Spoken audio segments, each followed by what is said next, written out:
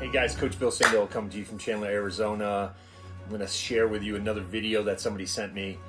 Um, this one is about Cody Bellinger, and it's from Dodgers Center, and it's Jerry Hairston Jr. kind of going off on uh, Cody Bellinger, but then blaming hitting gurus, and then going on this rant about hitting gurus, about how hitting gurus can't never played baseball, never played baseball at the high level, so they don't understand the speed of the game. This is amazing. So I'm gonna wa- I'm gonna let you watch the video, and then we'll come back and talk about it. I love this kid. It, it has been crushing this, to see this. And I've said it a month ago, two months ago, last year. He made the adjustment right before the postseason, had his bat straight up. And I said it, this is going to be my, my fourth or fifth time saying it. I love Cody Bellinger like he would be my son. He's not going to be able to hit like this. He can't hit like this. You have that flat bat, you're, you can't hit like this. I'm sorry. You're straight up, you're not in an athletic position.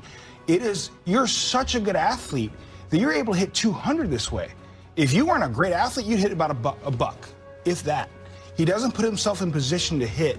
He's making it so hard on himself. He's one of the best athletes in the world, and he's unathletic in the batter's box.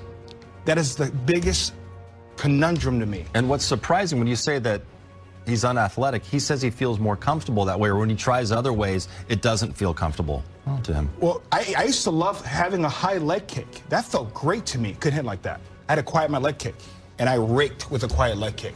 Some things will feel comfortable in BP, and you will rake in BP, but it's the big leagues, the movement. You can't. You have hitting gurus and you have swing coaches that never played in the big leagues. They don't understand big league movement. You can have a nice swing, you hit 55 mile an hour in BP. Oh, look at the launch angle. That's awesome. They've never faced big league movement. It's a whole nother ball game. I'm sorry. It's a whole nother ball game. He is too talented of a young man, too good of a player to keep doing the same thing over again. And stop doing this. You're, you want to come here, then here. Keep it here. You're too good of a player, man. again, I, he needs to go back to the same swing he had in the postseason, even if it doesn't feel comfortable to you. It worked for you. Let it stay there for a while until it feels comfortable because that should be your swing. You're, it's killing me seeing him like this. Okay, guys, so you watch that video. He starts to talk about Cody Bellinger being this athletic guy, one of the most athletic guys, how he loves him. He's like a son. And then in the middle of his rant about Cody's swing, how he can't hit, he's, he's such an athlete and he's hitting 200, right? He goes on this rant with hitting gurus. What does hitting gurus have to do with Cody Bellinger's swing right now? He doesn't use a hitting guru. I know Cody Bellinger. I know his family. I live in Arizona. Okay? First of all, I like Cody Bellinger. I like his family. I like what he does, right? Um, but Cody Bellinger doesn't use a, a, hitting guru. Cody Bellinger just sold his house on an air park. He had a batting cage in his house. Okay? I know where he trains. I've seen, I've talked to guys. I know pro guys that have worked out next to him. Um, Cody Bellinger doesn't use a hitting guru. So Jerry Hairston calls us. Um, so I think it's funny when you start making excuses for a major league guy.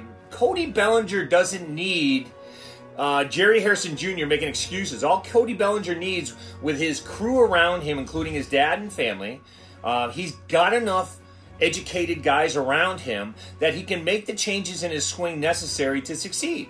Yes, he's doing some stuff that he shouldn't. Yes, I don't believe he's staying back on the ball. He's staying tall and he's moving forward. But again, you're not asking my opinion about it.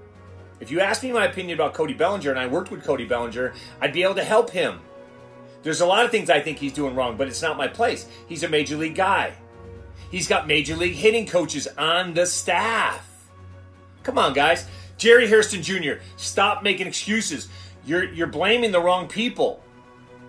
And it has nothing to do with just being an athlete. Just being an athlete allows you to make athletic moves in the box, but you still need proper swing mechanics. You still need to grind on your swing every day. I tell people this all the time. The swing is, you can't take anything off in the swing. You can't be complacent. You can't just be okay with what you're doing. You got to continue to work on it. You got to continue to reinvent yourself. You got to understand the movements, the biomechanics of the swing, how your body moves, where you're supposed to be, timing. These are all the things that these guys aren't talking about. I love it when big league guys uh, say, "Oh, I, I used to leg kick, and then I quieted my leg kick down, and I raked." You don't even know a reason why you leg kick. Leg kick is not about uh, I'm high leg kick, so I'm supposed to rake. It's a timing mechanism. It's about foundation. It's about tempo. You don't even understand what a leg kick does. Just to say, "Oh, I stopped my leg kick, so I raked." Really?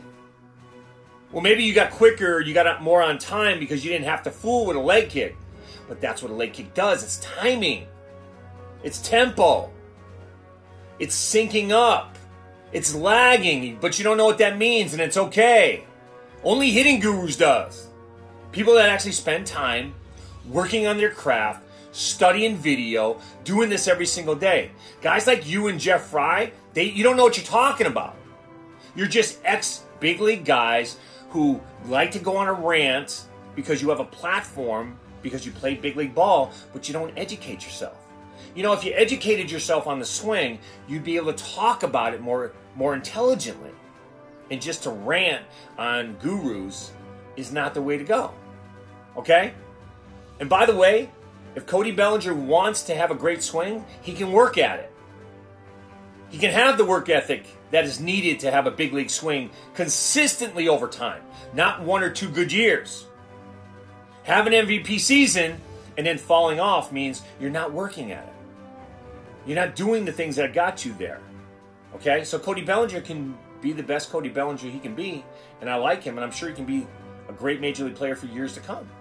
But again, like everything else in life, like everything else we work on with these pro guys, you have to work at it every day and not take time off. But don't tell me it's because of hitting guru's fault when you're not addressing the real issue. Because we're not talking about Major League Baseball as a whole. Because every single team in Major League Baseball has two hitting coaches now, sometimes three, a performance coach, video analysis guy. Come on, you got to stop making excuses when organizations are trying to work with analytics. They're trying to work with the swings, and they have five and six guys on staff. And the guys are still not hitting 300s because they're not adapting to the style and they're not changing when there's something wrong. The definition of insanity, okay? My boy Shea Hillenbrand talks about stuff like this all the time reinventing yourself, respect, vision. You got to work at this stuff every single day. And if major league players have the ego of being a major league player and they don't want to listen to guys who didn't play and they still want to bat 200, who's the dummy? Who's the real idiot here? The guy that doesn't want to change because somebody who didn't play big league ball is trying to help him? Or continuing to hit 200 and think it's okay? Well, then you're right. You're a big league guy, you're right, and you continue to hit 200. Go ahead. Or reach out for help because guys that are educated and can help will help you. This is about career moves. This is about making money. This is about family and legacy for you. The thankless job is hitting coaches, the guys that actually are in the trenches knowing what they're doing and trying to help somebody. So, thank you to my buddy who sent that to me, um, who understands the swing, who understands deep barrel turn, understands what the role of uh, hitting gurus are, and is educated enough to send that video to me to say, listen, we have to wake up. And it's not the hitting gurus have to wake up. It's the ex major leaguers that don't want to change their methodologies or their mindset because they're stuck in ego and not intelligence. Hey, and lastly, guys, before you go off on a rant, because you think I don't have any experience at all, I've watched over 2,500 minor league games and over a thousand at the major league level because I did work 15 years in pro ball. I did work with eight professional baseball teams. Okay, and I did work with some amazing coaches at the big league level and at the minor league level. So before you go on in this rant and thinking I don't know what I'm talking about, I have enough dirt under my cleats to, to really, really address some of the stuff that's going on in baseball when, when you talk about hitting gurus. Okay? So, again, Cody Bellinger, he's going to be fine. He's going to work at his craft. He's going to do fine. All he's got to do is change some things and understand them, some things. Okay? All right. Have a good week. Yes, sir, baby, I'm a boss. They say yes, sir. Shout out to myself, that's my investor. Uh-huh. Made another mill, let's run it back like Devin Hester. Uh-huh. Pistol in my dresser, baby, this is silk, not polyester. Uh-huh. Yes, sir, baby, I'm a boss. They say yes, sir.